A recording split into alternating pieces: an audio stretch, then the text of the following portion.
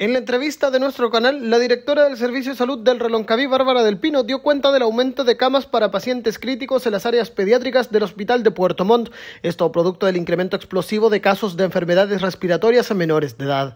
Por ello, se ha decidido triplicar la capacidad de las unidades de pacientes críticos, pero con esto la disponibilidad de las camas continúa con números críticos.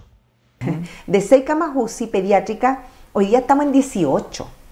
Pasamos de 6 a 12 y de, de 12 ahora a 18.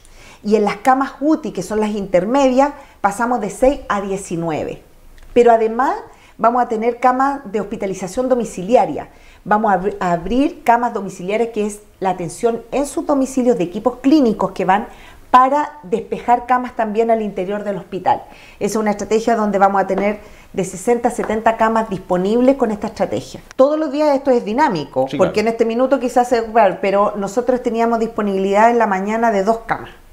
Eh, o sea, 16 de las 18 estaban ocupadas. Sí, pero se van liberando, van recuperando, van ingresando, eh, pero también tenemos capacidad para ir creciendo más.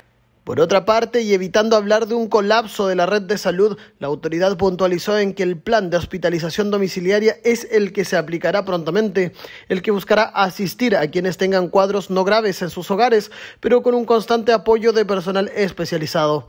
Además, ya se está trabajando en lo que será la rehabilitación del ex hospital base de calle Seminario. Eso sí, según la planificación, este estará habilitado recién entre septiembre y octubre de este año.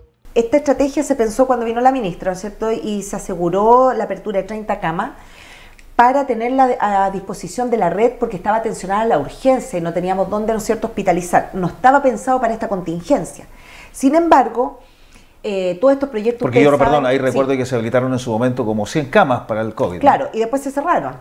Y eso quedó ahí en desuso y cuando el tiempo pasa, ¿no es cierto?, las cosas se van deteriorando. Nosotros tuvimos que volver a chequear si estaba óptimo todas las canalizaciones de gases clínicos, el tema de las corrientes débiles, el tema de eléctrico, de, calefacción. Y ahí em, se tuvo que invertir un poco más de lo que estaba presupuestado, porque estaban bastante deterioradas. Eh, hoy día podemos decir con certeza que estamos pensando en abrir las camas en, en, octubre. Esperamos que sea antes y estamos haciendo todo el esfuerzo para que sea antes. Ya estamos comprando las camas, están en tránsito, en 40 días más llegan y vamos a abrir las 30 camas este año.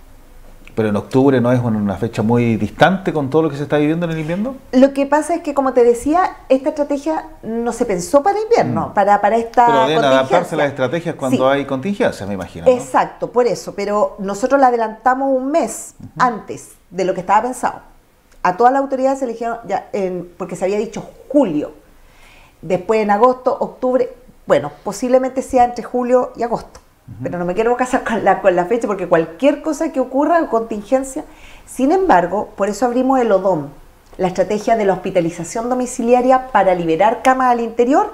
Se van a ¿Hospitalización para qué tipo de enfermedades o patologías son para esas? Son para patologías eh, básicas y de acompañamiento en domicilio que lo pueda hacer un familiar y con el apoyo, ¿no es cierto?, constante de un equipo de médicos, de enfermeras, kinesiólogas, terapeutas ocupacionales. Estrategias y planes que buscarán generar procesos que permitan la descongestión de las áreas de pacientes críticos del Hospital Regional, junto con establecer líneas de acción para reforzar la vacunación y así evitar cuadros graves por enfermedades respiratorias.